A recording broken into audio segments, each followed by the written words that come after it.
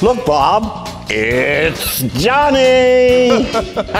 Oh my God. I love that reference. Hi. How are you, buddy? Good, how are you? Welcome, Good, doing welcome. well. So, boys, what are we drinking? I'm gonna have a glass of uh, champagne. Ooh, bubbly, okay. Seven up with a splash of cran. Ooh, love spicy. So how long have you been tending bar? A day and a half. You must be a pro. Obviously, I'm not a, a high intensity bartender like, you know, Tom Cruise and Risky Business. You mean you won't dance for us on the on the bar? Well, I might do that.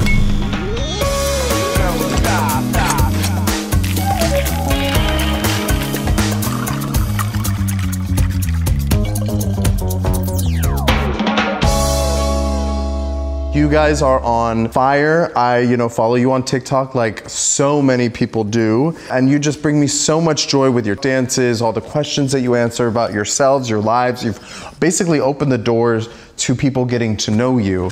How long would you say it, it takes to do like a TikTok dance video for you all? Sometimes we'll be able to uh, do it in five or six rehearsals and then a take or two.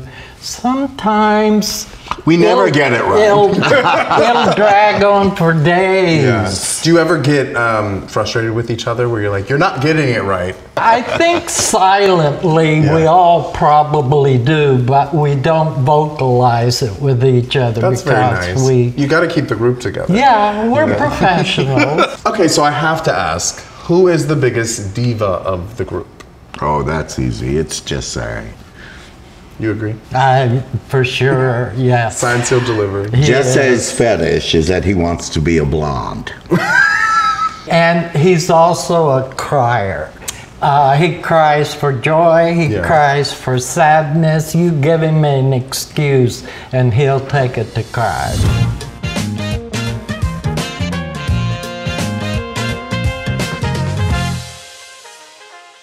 Legend has it, before you were famous old gays, that you came together because of a Craigslist ad. That's true. Yes. So please tell me, paint the picture, you know, how did this all happen? I had to leave the place where I was staying, and a friend of mine suggested uh, look on Craigslist. And I answered an ad that mentioned about a mid century modern house, and that uh, you had to. You know, be accepting of an alternative lifestyle. What would that alternative lifestyle be? Well, nudist Okay. and uh, marijuana. Okay. And I think those were the two major. Oh, and a gay lifestyle. My favorite things. That's true. anyway, so I, I drove up to the house and um, I saw Bob working in the front without his shirt on. And I thought, well, you know, why not? Know. So I asked to see the house, I asked to see my room, and um, The rest is history. the rest is history, yes. That.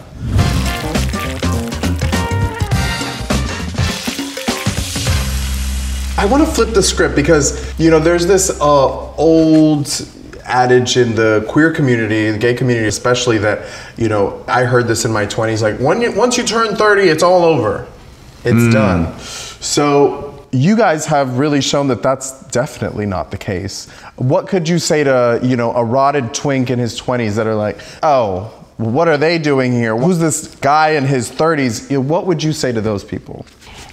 Life is the only beginning, and I can hmm. tell you, I lived in San Francisco for 10 years before I moved to the Palm Springs area. Mm-hmm. And I have to say, when I was living in San Francisco, I had a lot of sex. Good. Since I've been in the desert, my sexual contacts number in the thousands. Really? yes. Wow.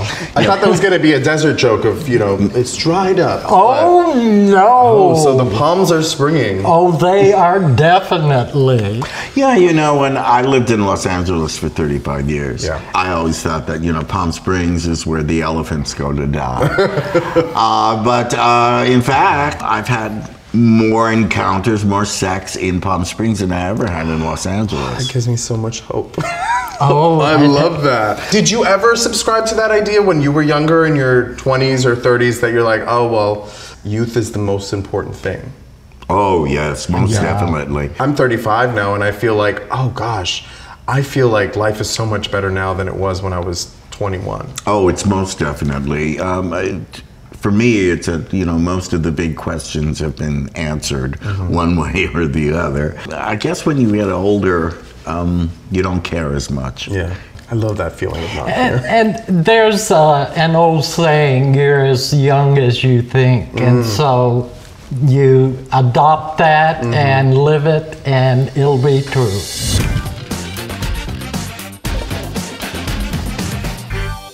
You got your, you know, rise to fame with your Grindr videos that you did with them. It seems like a lot of people like to see older guys naked, Yeah. I mean, it- which was quite a surprise. Yeah. how much did you know about the hookup apps um, when you started or before? oh, I've known about hookup apps for ever since they were invented. Right. Yeah, because they've been around. I mean, Craigslist was one of them. Like, take me back to your 20s and 30s. What was hookup culture like back then? In my 20s, I was living in St. Louis, mm-hmm. and hookups were basically confined to certain cruising spots mm-hmm. in Forest Park mm-hmm. and dark alleys. And a very few bars that you would enter from the alley. Yeah, 'cause and that you- was pretty much it. Same for you? Uh, well, I moved to Los Angeles when my uh, when I was 22, and uh, so I, I sort of know the flesh pots of Hollywood. um, yes, there were lots of places like uh, we mentioned that there was there used to be a Union 76 station uh, at Melrose and the and the Hollywood Freeway. And uh, it was very popular with the CHP and the LAPD. Oh, yeah, yeah, yeah. Yeah, which is sort of my thing. and um, uh, yeah, I have so many fetishes. It's just uh, Lovely. We're very pro sex here. Are you guys dating at the moment? No. No? No, Single no. as a Pringle? Yeah, single NSA. No strings attached for anyone who doesn't know what that means. Is there any, like, you know, cruising stories from back in the day that you're like, oh my gosh, I can't believe that happened to me? Wheel. Back in the day, I flew up to San Francisco to play with a guy uh, who I met at the Gay Pride Festival down in Los Angeles. And I came up there and we decided to go to the baths. Yeah. And I met Christian Bjorn. Oh, Yes. wow. And um, there was, uh, hello, how are you? Here, can you come with me? I was all of 22, 23 years old. Wow. Yeah. How about you? The uh, immediate thought that popped into my head was I picked up a guy once and brought him back home and he asked if he could use my shower to clean up. I said, sure. And he was in my shower almost an hour, and I was waiting and waiting and waiting. And finally, when he got out, I had lost all interest in the encounter Yeah. and couldn't perform. Yeah. And so it was a dud. Yeah, I mean it, that's the thing. Of like some some parts of it are so exciting when it's in the moment and you're you know excited to be there. Would you say that you know because cruising is having a bigger resurgence now? I think after COVID, do you think there's a reason for that? That people are like, let me leave the app alone and let me go out into the world. When I've been um, cruising on, on an app, there are two kinds of guys. Guys who are spur of the moment, who are really, you know, psyching up to get it, you know, to get it up. Yeah.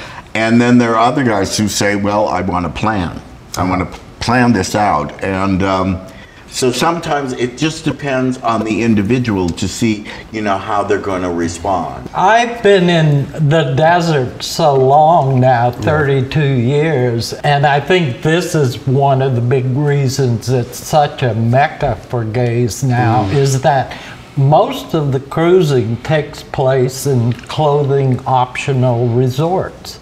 And so everybody's already naked. there you that cuts the Cuts out the middleman. process, uh, uh, the time Yeah. very short, so you get right to the nitty Yeah, because sometimes the pesky clothes are like it could kill the mood because you're like, oh, the shirt might gotta take off my belt and yeah. Yeah, I and, and there's so many good excuses for being naked. I mean, it's hot. It's hot. I love it. How often would you say y'all are hooking up? Not with each other, but in general. Right now, not nearly as much as pre COVID because of COVID and now monkeypox. And I know, I think we all have uh, kind of pulled back. Yeah. Uh, but I know I'm itching. Not from the pox, but No, not, not, from anything Yeah. other than the desire. There, cheers to desire. Desire, I'll drink to that. here, here. Here, here. Cheers. All right, we'll move away from sex for a sec.